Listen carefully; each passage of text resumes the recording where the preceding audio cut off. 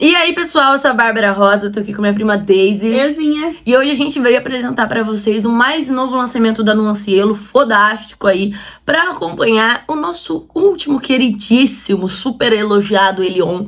E aqui a gente tem o Shekinah. Sim, galera, esse perfume aí, mais um, né, pra ser contratipo da Init, uma perfumaria de nicho caríssima, tá beirando aí os 3 mil reais, é realmente Verdade. desembolsar uma grana. É, e é um perfume um tanto mais desafiador por ser essa pegada mais árabe, né? Então, com certeza compensa demais comprar o contratipo, tá? Então, como eu já falei aí, né, o nosso querido Shekinah, contratipo do Wood for Greatness, Init Parfums. Olha esse frasco. Olha que frasco divino também, né? Não tem nem o que dizer. né? Aí, vai dar uma tremidinha. a caixa também maravilhosa. Sim. E aqui a gente vai falar um pouquinho aí dos dois, das comparações, do que a gente achou do contratipo. Então já deixa o like, se inscreve, ativa o sininho. O link pro canal da Daisy tá aqui embaixo. E pra Nuancielo também, com cupom de desconto. E vamos pro vídeo. E a gente já começa trazendo aí o que a gente sente quando borrifa os dois na pele. E de cara eles já são bem semelhantes, bem iguais mesmo. É bem difícil notar qualquer que seja a diferença, porque geralmente os contratipos já saem no corpo, no coração do perfume, então a saída costuma, assim, os primeiros 30 minutos costumam ter uma diferença. Mas não aconteceu isso aqui, até mesmo porque o Wood for Greatness já é um perfume muito macho alfa, muito é, nessa pegada árabe mesmo. É uma potência, é um perfume que não desgruda, né? Então ele já vai muito nessa madeira de oud logo de cara. Mas ele tem um aromático ali na saída, com açafrão, com a noz moscada, que dá uma leve picância, né? Essa sensação ardidinha, uma sensação de especiaria, uma coisa bem árabe. E isso, por incrível que pareça, a gente também sente no Shekinah. Então, ele conseguiu trazer até mesmo esse detalhe aí desse aromático na saída do perfume, deixando eles aí com quase nenhuma diferença. Se você parar assim, ficar muito, muito ali cheirando, cheirando, cheirando, você vai falar ah, um pouquinho mais picante, um pouquinho mais de noz moscada no Wood for Greatness. Uma coisa muito leve, gente, muito imperceptível. A gente vai conseguir ali, né, se a gente for bem crítica, né, Daisy? A gente ficar inventando moda, a gente vai conseguir falar alguma coisa. Não, você vai sentir alguma diferença, você fica ali. ah, É mas bem, mas é bem É imperceptível. muito pouco, gente. É, muito então, na nossa visão, realmente eles são uma similaridade absurda. E o corpo Desde a desse- saída, é, né? Desde a saída. E aí, o corpo desse perfume, né, já foca realmente bastante nessa madeira de oud, né, nesse agar oud, que é um destaque, é uma madeira muito sofisticada e muito masculina, muito lenhadora, né, essa coisa assim de um poder fenomenal. E aqui dentro é a madeira principal, é aquela coisa assim que toma conta mesmo. Tanto que o nome do perfume, né, Wood for Greatness, é a madeira de oud aí pra você ser o fodão, o melhor entre os melhores.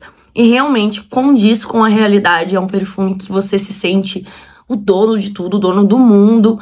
É um homem muito cheio de si, de muita personalidade. um- nossa, cara, maravilhoso. Um cheiro assim de elegância mesmo, né? Tipo, é muito, muito, muito elegante. É bem lenhador, né? Um Bem lenhador. Bem mais forte, mas que também tem um lado, assim, bem sexy de ser, uma coisa, assim, mais masculina mesmo. Olha, Não, é, é irresistível. E o que complementa, né, esse cheiro aí tão masculino, que traz mais sedução e mais sofisticação pra dentro dele, é a mistura da lavanda, que tá ali presente nesse corpo do perfume, como uma nota não floral, sabe? Não aberta, não fresca. Eu diria que um tanto mais atalcada, um pouco mais. Dá uma sensação roxa mesmo, né? Não tem muito É. como explicar. Mas dá esse roxo, essa pegada assim mais uma madeira mais de banho tomado, né? Uma coisa que dá uma calentada. E aí junta com o patchouli e com o almíscar, que deixa ele muito confortável, muito adocicado, junta com essa madeira. A, o patchouli é- é a nota ideal para estar aqui dentro para dar o adocicado e a sedução, porque é o que dá a sensação de que o homem, ele é o lenhador, mas ele é o lenhador das capas de revista pornô. Cadeira.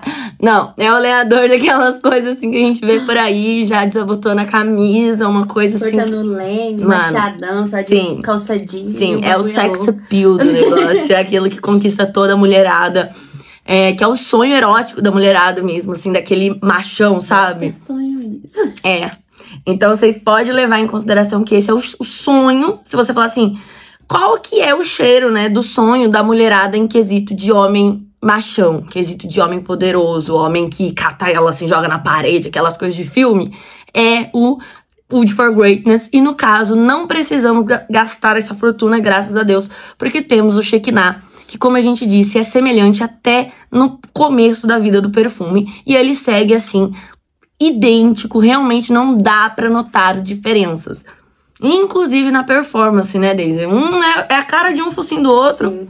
Performance, a projeção, fixação, tipo, ele não deixa nada a desejar por ser um contratipo.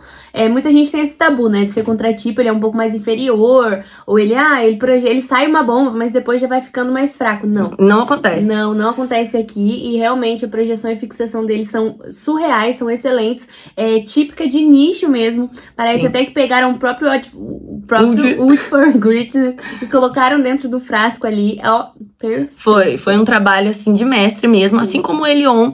É, inclusive, esse, se a gente for até comparar, ele tá mais igual. porque desde o começo até o fim ele está Sim. igual. Então, assim, não tem nenhum detalhe que você fala, caramba, notei diferença. Não tem, tem que ser muito crítico, a gente falou muito chato mesmo, é. assim, de, de querer ali no detalhe, porque não tem, gente. E então, assim, ele tá realmente impecável, perfeito, de similaridade, de performance. Um perfume de nicho, ainda mais com essa pegada árabe, né? Essa pegada oriental. Ele vai na veia ali de ser o mais bombástico, o que mais projeta. Isso aí, vocês estão ligados? Então não é diferente com a Initio, não é diferente com o contratipo. Eles fizeram assim, certeiro, gente. O mais incrível, com certeza, é a atenção que vocês vão chamar com esse cheiro aqui. É o rastro que ele vai deixar. Então, ele vai durar aí na sua pele umas 10 horas para mais, ele não sai. Com certeza. É, isso aí é Até nada da roupa. roupa. Você pode lavar a roupa que. Não, gente, isso aqui não sai, realmente. É um cheiro muito que fixa muito e projetar. E eu acho que ele deve projetar bem forte, umas duas horas e meia, três horas. Ele é um perfume bem expansivo. Sim. Mas o melhor disso é o rastro, né? Então você anda e vai deixando seu cheiro em todo lugar. Sim. E é um cheiro que chama atenção pela masculinidade, pela sedução que a gente já disse. Então as pessoas vão te elogiar muito. Pro frio, gente, assim, não dá pra usar no calor. Oi? não dá pra usar no calor, não dá pra usar no ambiente de trabalho, no dia a dia, no, no ônibus, numa academia, não dá para usar nesses ambientes. Óbvio, ele é um perfume muito elegante, muito sedutor, muito machão, com muita performance. Então é pro frio, é para momentos elegantes, é para festas, é para até mesmo balada, né, que você ali vai se sentir um pouco confortável, não dá para borrifar tanto, Sim. dependendo se você vai sufocar ali no meio. Mas é para esse encontro romântico que tava só você e a mina ali no jantar à noite, dá duas borrifadas, filha, você vai exalar a noite inteira pra essa mulher. É verdade. Vocês não estão entendendo. E uma coisa que eu acho muito interessante desse hum. perfume é que ele não é um perfume, assim, muito comercial, né? É, é um perfume, assim, que é só pra quem tem opinião mesmo, pra homem que quer muito chamar atenção, porque você vai ser a única pessoa com esse cheiro. Sim. Porque não é todo mundo que se sente confortável de usar esse perfume, você tem que ter muita opinião mesmo, tem que ser uma pessoa muito... Personalidade, muito né? foda de si, né? Sim. Muito segura de si mesmo. Então, você tem que ter personalidade. É, ele não é um nenhuma. perfume Nutella, ele não é um não. perfume pra garotada, ele não é um perfume assim. É mais à mão mesmo, mais maduro, é, assim. Maduro então... à mão. E, cara, é um cheiro que chama atenção. Então você vai chamar, você não vai passar despercebido, não entendeu? Mesmo. Tem que ter isso na cabeça.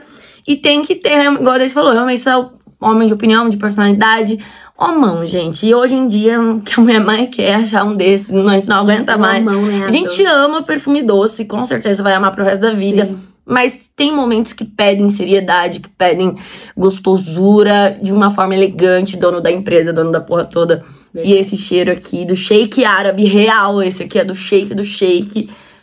Cara, maravilhoso. E anunciá-lo como sempre, nota fodástica. 10. Nota 10, eu dou nota 10 também. E é isso, o vídeo foi esse. Ai, cara, ele é um cheiro muito é viciante. E eu quero muito que vocês conheçam, quero muito que vocês dêem opinião aqui embaixo.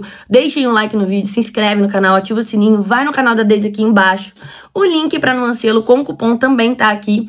E deem a opinião de vocês. Assim que chegar aí na sua casa, assim que vocês cheirar de um amigo, sei lá, comentem aqui que a galera vai querer saber também o que, que a, a população acha, né? Porque a nossa opinião, hoje em dia, a gente tem também ali, eu, por exemplo, eu principalmente, né, passei bastante pelo Nutella. né? Assim, foi uma luta para conseguir chegar no meu nariz acostumar com o cheiro da riqueza de homão. Cheiro de homão. É. Eu gostava de cheiro de molecada. Sim, e hoje em dia eu não troco, por exemplo, um cheiro de shake desse aqui por nada, entendeu? Então, é isso, galera. Um beijo enorme. Até a próxima. Tchau, tchau.